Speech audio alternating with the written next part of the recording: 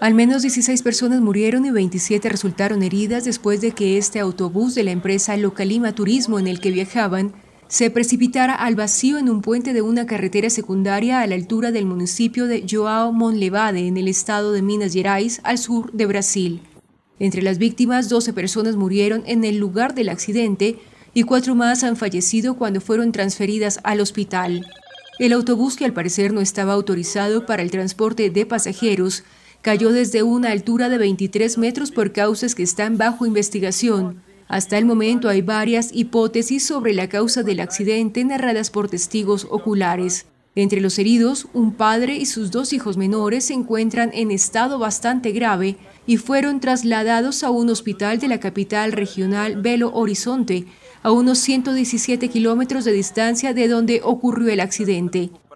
Este es el segundo accidente grave que ocurre en las carreteras de Brasil en poco más de una semana. El miércoles de la semana pasada, un autobús que transportaba alrededor de 50 trabajadores de una empresa textil colisionó contra un camión en el interior del estado de Sao Paulo en un accidente que dejó 42 muertos.